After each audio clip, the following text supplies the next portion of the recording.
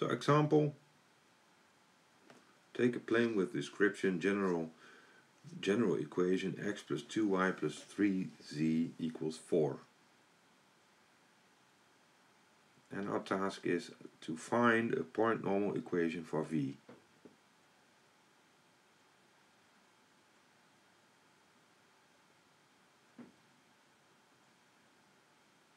Well, obviously we can take as a normal for the plane v the vector 1, 2, 3 is just the coordinate coefficients uh, uh, for x, y and z respectively.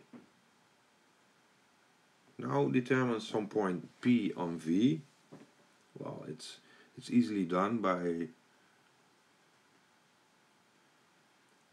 by uh, putting y and z equal to 0, which leaves as x coordinate 4.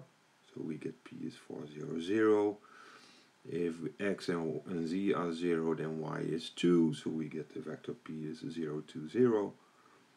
Or finally, x and y are 0, which would leave us with z is 4 over 3, so we get the vector 0, 0, 4 over 3.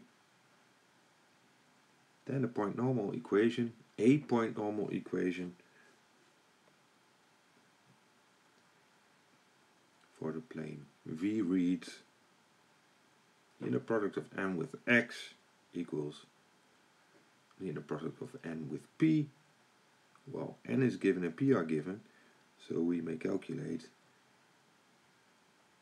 p is 4, 0, 0, and n is 1, 2, 3.